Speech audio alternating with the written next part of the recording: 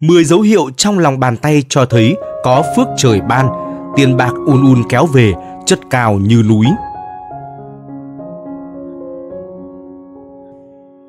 Quý vị thân mến, từ xưa đến nay, mọi người ai cũng đều hy vọng rằng họ sẽ có cuộc sống phú quý, giàu sang cả đời. Nếu bạn cũng muốn như vậy, trước hết hãy nhìn vào tay của mình. Bởi nhìn vào bàn tay có thể đánh giá được bạn có phải người dễ dàng thăng quan, tiến chức hay không.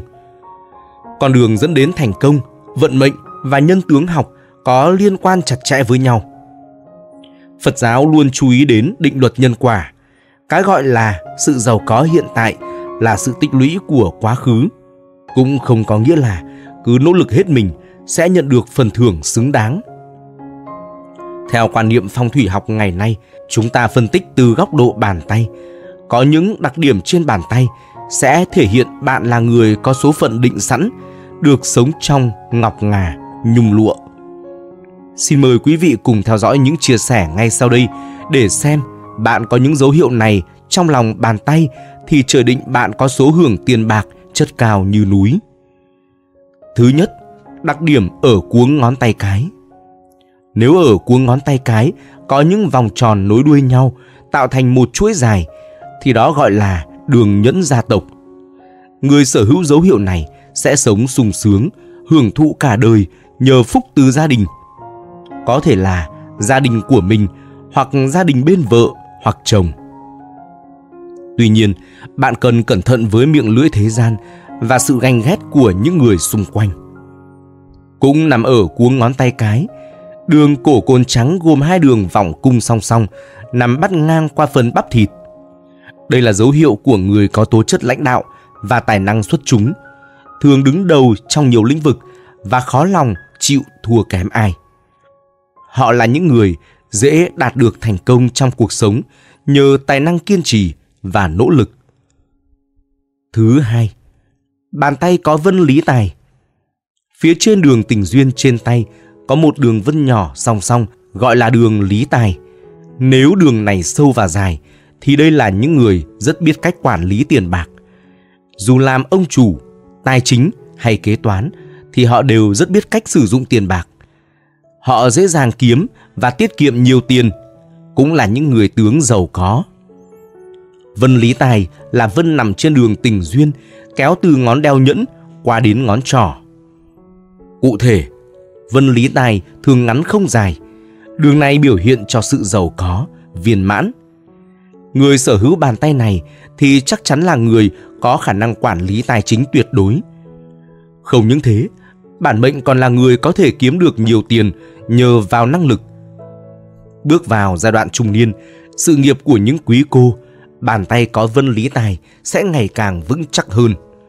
Họ ít khi nào hài lòng với công việc hiện tại mà luôn muốn thay đổi đầu tư để sinh thêm lời.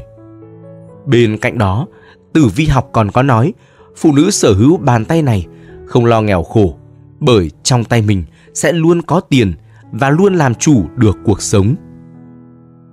Thứ ba là móng tay vuông vắn, ngón tay hình ống chốt người sở hữu tướng ngón tay này là người có tài nhưng không có tiền. Làm ra bao nhiêu, tiêu hết bấy nhiêu không giữ được. Vì thế mà những năm đầu cuộc đời họ rất vất vả, cuộc sống còn bấp bênh. Thế nhưng chỉ sau 30 tuổi, vận may sẽ ập tới, giúp họ có được cơ hội đổi đời, một bước lên tiên. Không chỉ thành công trong sự nghiệp, họ còn đầu tư nhiều lĩnh vực và thu về lợi nhuận khủng đủ sống tới mấy kiếp sau. Thứ tư, lòng bàn tay có hình thỏi vàng. Nếu mở bàn tay ra, nhìn vào trong đó có chỉ tay nối như hình thang hay được xem là hình thỏi vàng thì xác định người có tướng tay này sẽ sung sướng, an nhàn cả đời trời sinh.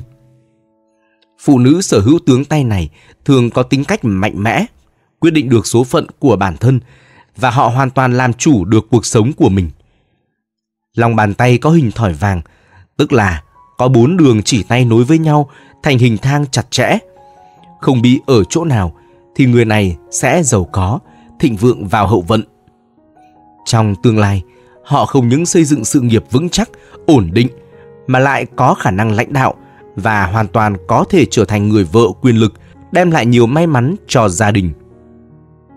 Thứ năm, lòng bàn tay có vân ngộ quý và vân tổ tí.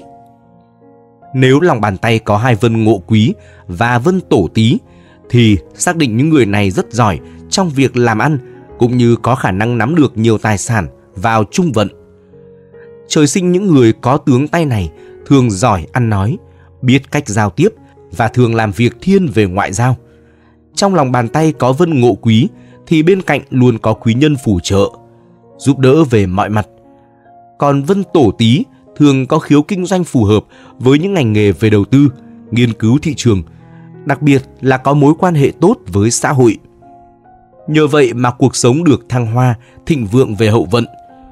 Những người có tướng tay này đều sở hữu khối tài sản to lớn, đủ để sống đến nhiều đời sau. Thứ sáu, bàn tay có khe hở giữa ngón trỏ và ngón giữa.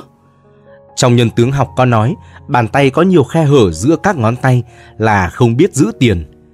Tuy nhiên, nếu người phụ nữ nào chỉ có khe hở giữa ngón trỏ và ngón giữa thì lại là một vấn đề khác. Quý cô nào sở hữu bàn tay này là những người có vận mệnh tốt, cả đời gặp được nhiều may mắn và có nhiều tiền. Họ thường không quan trọng chuyện tiền bạc nhưng lại kiếm được nhiều tiền. Hơn thế nữa, bản mệnh còn là người vô cùng cẩn thận, chu đáo và được người khác tín nhiệm. Hậu vận của những người có bàn tay kiểu như vậy thường không lo lắng về vật chất. Ngược lại, còn được tận hưởng cuộc sống vinh hoa phú quý, khó ai sánh bằng. Thứ bảy, bàn tay xuất hiện chữ M. Đây là tướng bàn tay đặc biệt, không có nhiều người sở hữu đặc điểm tay này. Nhiều chuyên gia trong nhân tướng học cho rằng đây là những người có tài, lãnh đạo bẩm sinh. Hơn nữa, người này có trí óc siêu phàm, logic cực kỳ tốt. Thời trẻ, họ theo đuổi đam mê nên mất nhiều thời gian vào các cuộc trải nghiệm. Do đó phải tới trung niên, họ mới thực sự bước đi trên con đường công danh. Tất nhiên, bằng tài chính của mình, người sở hữu chỉ tay hình chữ M sẽ nhanh chóng có được địa vị chức quyền, gia tài mà nhiều người mơ ước cả đời cũng không có được. Thứ 8. Đường sự nghiệp đậm Dần xòe bàn tay ra, nhìn vào đường sự nghiệp. Nếu thấy điểm khởi đầu của đường này mờ nhạt, nhưng càng tiến về phía ngón tay thì càng trở nên đậm nét, rõ ràng hơn, thì chính là dấu hiệu của người có thành công.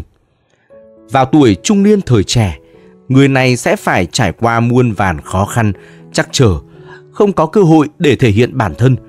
Nhưng chỉ cần bước vào tuổi trung niên, sự nghiệp sẽ lên tới đỉnh cao. Mọi sự thuận lợi, tài lộc không ngừng kéo tới. Thứ 9. Nốt ruồi trên mu bàn tay Những đặc điểm giàu sang hiển thị ở bàn tay còn có nốt ruồi. Ai có sẽ tha hồ hưởng phú quý. Nếu trên bàn tay có nốt ruồi, dù là đàn ông hay phụ nữ đều có vận mệnh may mắn, tha hồ hưởng giàu sang phú quý. Họ sẽ là những người có tâm địa thiện lương, phóng khoáng, luôn có quý nhân phù trợ, tai ương đều trôi qua, chuyển nguy thành an. Có thể nói, cuộc đời của những người có đặc điểm này là con đường toàn hoa hồng, nhẹ nhàng và ít gặp khó khăn. Hậu vận bất kể họ làm việc gì cũng đều gặt hái được nhiều thành công. Không những thế, lại có thể an nhàn, tận hưởng cuộc sống giàu có, sung túc, khiến ai nấy cũng ngưỡng mộ. Và thứ 10, lòng bàn tay có đường đoạn trường. Không phải ai cũng sở hữu được đường đoạn trường này trong lòng bàn tay.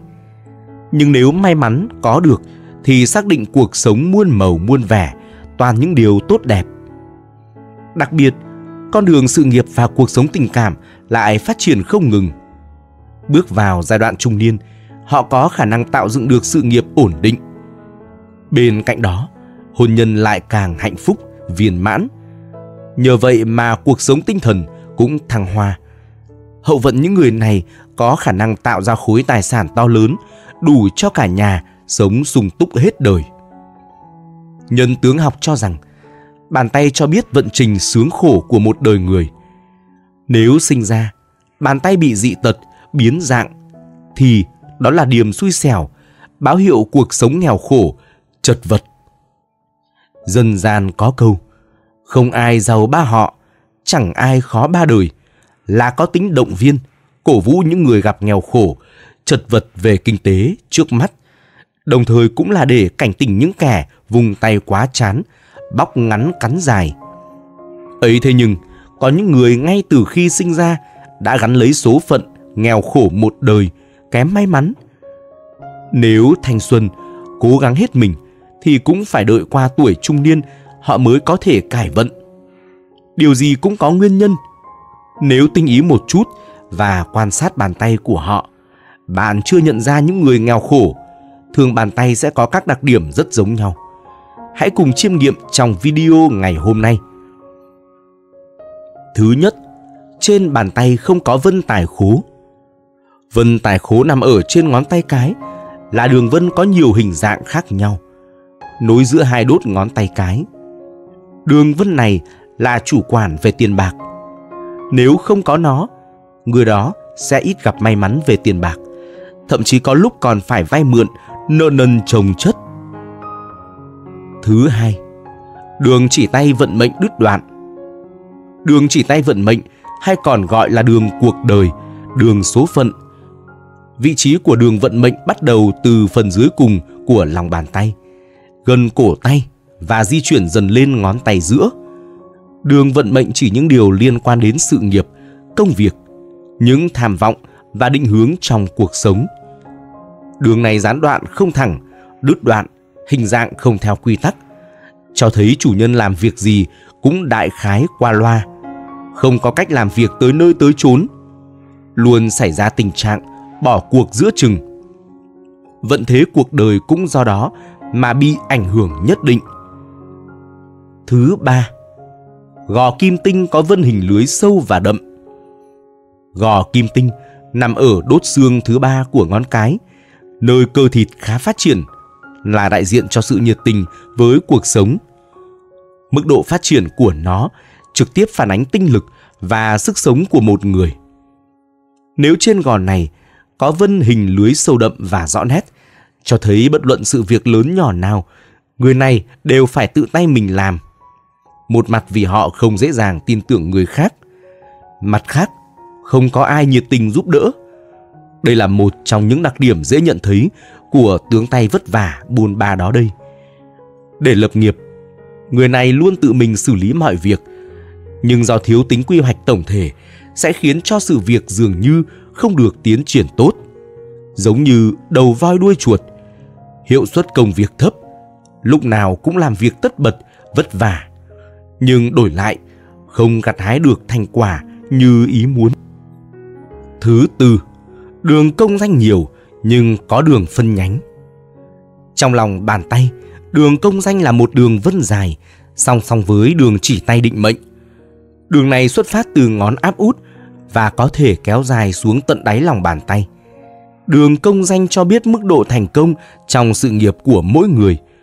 Biểu thị người đó gặt hái được những thành công gì cho sự nỗ lực đóng góp của mình. Nếu trên đường công danh có rất nhiều đường phân nhánh nhỏ kéo dài ra, biểu thị chủ nhân là người rất rộng rãi, hàm học hỏi, chịu tiếp thu tri thức ở các lĩnh vực khác nhau. Nhược điểm của họ là thiếu tính nhân nại, hầu như là không kiên trì được đến cuối cùng. Do đó, họ khó mà đạt được kết quả thực sự. Trải qua không ít lần thất bại mới có thể tiến tới thành công. Thứ năm, cổ tay nhiều đường vân chẳng chịt. Chủ nhân của tướng tay mà có nhiều đường vân chẳng chịt ở phần cổ tay hợp lại với nhau như dây xích. Thường rất coi trọng vấn đề vật chất, thích theo đuổi hư vinh, người này tuy biết tính toán cẩn thận nhưng lại hay do dự, không quyết đoán. Vì thế thường xuyên rơi vào cảnh thu không đủ chi, phải bôn ba khắp nơi để làm việc, kiếm sống, kiếm tiền miệt mài để bù vào lỗ hổng kinh tế do chính bản thân mình tạo ra. Thứ sáu, đường chỉ tay vận mệnh có vân đào. Đường chỉ tay vận mệnh còn gọi là đường sự nghiệp hay vân ngọc trụ vì nó giống như trụ cột giữa lòng bàn tay. Đường chỉ tay này đại diện cho thành tựu trong công việc bạn đạt được là to hay nhỏ. Những mối quan hệ xã giao có rộng mở không? Đến phạm vi nào, sự nghiệp và con đường công danh sẽ thẳng tiến đến mức nào? Nếu trên vân vận mệnh có hình vân đảo, tức là có hình dáng trông như hòn đảo, là điểm không may mắn. Khi có đường vân đảo xuất hiện, chủ nhân nên đề cao cảnh giác trong việc dễ thất thoát, mất tiền bạc, thậm chí phải chạy vạy vay mượn. Nhiều người khó mà nở may nở mặt. Thứ bảy, đường công danh nhiều nhưng có đường phân nhánh. Trong lòng bàn tay, đường công danh là một đường vân dài song song với đường chỉ tay định mệnh. Đường này xuất phát từ ngón áp út và có thể kéo dài xuống tận đáy lòng bàn tay. Đường công danh cho biết mức độ thành công trong sự nghiệp của mỗi người biểu thị. Người đó gặt hái được những thành công gì cho sự nỗ lực đóng góp của mình. Nếu trên đường công danh có rất nhiều đường phân nhánh nhỏ kéo dài ra, biểu thị chủ nhân là người rất rộng rãi, hàm học hỏi, chịu tiếp thu tri thức ở các lĩnh vực khác nhau. Nhược điểm của họ là thiếu tính nhẫn nại, hầu như là không kiên trì được đến cuối cùng. Do đó, họ khó mà đạt được kết quả thực sự. Trải qua không ít lần thất bại mới có thể tiến tới thành công. Thứ 8. Ngón tay cong không thẳng. Những người sở hữu một bàn tay với những ngón tay cong và không thẳng, dù là đàn ông hay đàn bà, cũng đều sở hữu số phận long đong, nhiều vất vả. Đặc biệt với những người có ngón tay bị cong, độ cong của ngón tay nhìn như sắp gãy. Đa số họ là người kém hiểu biết, sức khỏe yếu ớt, không biết cách kiếm tiền, nên trong cuộc sống họ vô cùng khó khăn, cực khổ, luôn phải đối diện với những bệnh tật bủa vây xung quanh mình. Quý vị thân mến, mặc dù nhìn vào bàn tay có thể dự đoán được vận mệnh của một con người, nhưng điều đó không phải là yếu tố quyết định tất cả. Hãy cứ miệt mài, cố gắng và chắc chắn thành công sẽ đến với những người xứng đáng. Rất cảm ơn quý vị và các bạn đã quan tâm theo dõi chương trình. Và tiếp theo chương trình là nội dung câu chuyện có tựa đề Sống cùng nhà vợ suốt 3 năm. Đến khi muốn ra ở riêng, mẹ vợ nói một câu khiến tôi sốc nặng. Câu nói của mẹ vợ khiến tôi sốc nặng. Hóa ra bao năm qua, trong mắt bà, tôi vẫn là một kẻ ăn bám, vô dụng và làm khổ vợ con. Tôi là người miền Trung, lấy vợ Hà Nội. Nhà vợ tôi ở ngoại thành, cách trung tâm thành phố hơn 20 km. Ban đầu khi yêu vợ, tôi hoàn toàn chưa bao giờ nghĩ mình sẽ ở rể.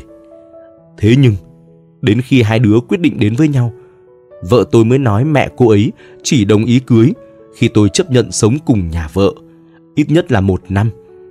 Bởi nhà vợ tôi chỉ có hai cô con gái. Chị gái vợ đi du học rồi lấy chồng, định cư luôn ở nước ngoài. Thế nên mẹ cô ấy muốn giữ con gái út bên cạnh. Khi biết hoàn cảnh nhà vợ như vậy, tôi cũng rất khó nghĩ. Nhưng khi về thăm cơ ngơi nhà cô ấy, tôi hoàn toàn bị choáng ngợp.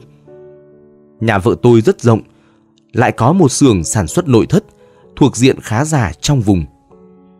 Thời điểm ấy, có lẽ tôi cũng bị vật chất chi phối nên gật đầu đồng ý về sống cùng nhà vợ.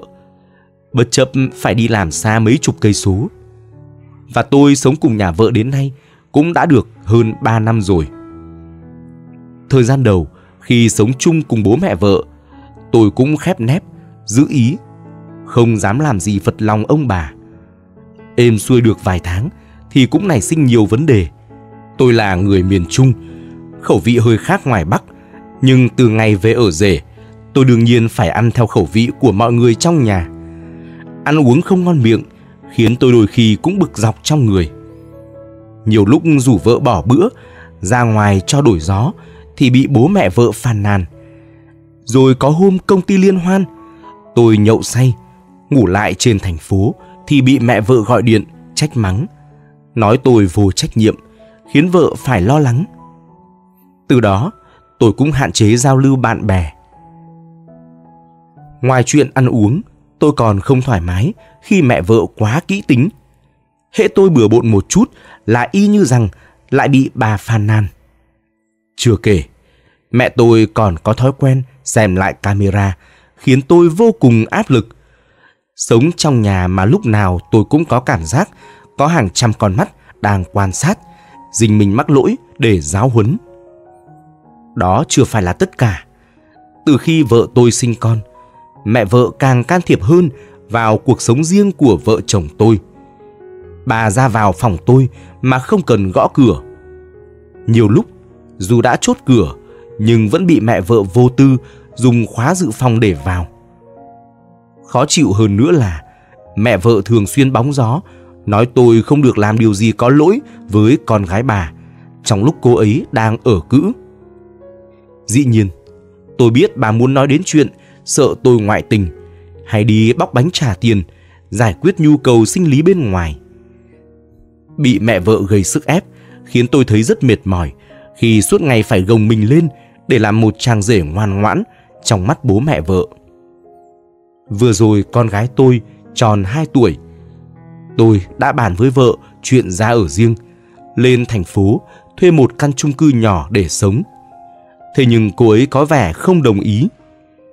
Vợ tôi nói, hiện giờ thu nhập của hai vợ chồng không cao, chỉ hơn 20 triệu một tháng.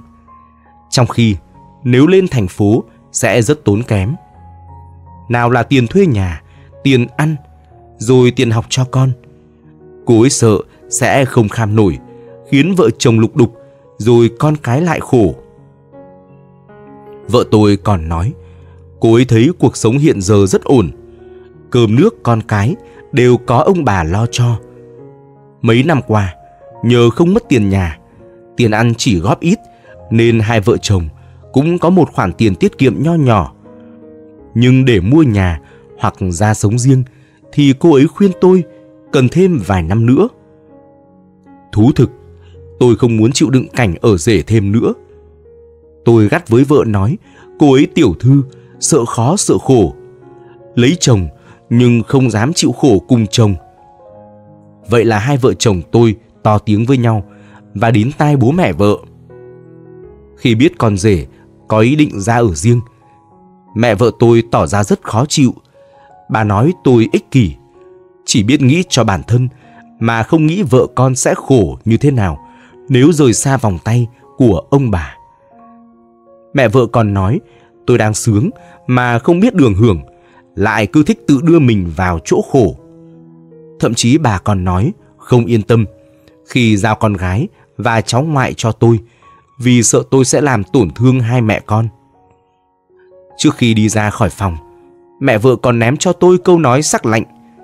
Khi nào lương 50, 60 triệu một tháng thì hãng ra ở riêng. Còn cứ lẹt đẹt 10 triệu như bây giờ thì nên dẹp ý định đó đi. Đừng làm khổ mẹ con nó thêm nữa. Câu nói của mẹ vợ khiến tôi sốc nặng. Hóa ra bao năm qua, trong mắt bà, tôi vẫn là một kẻ ăn bám, vô dụng và làm khổ vợ con. Giờ tôi đang vô cùng ức chế. Tôi có nên quyết tâm ra ở riêng hay tiếp tục chịu đựng cuộc sống tù túng, bị khinh rẻ này thêm nữa?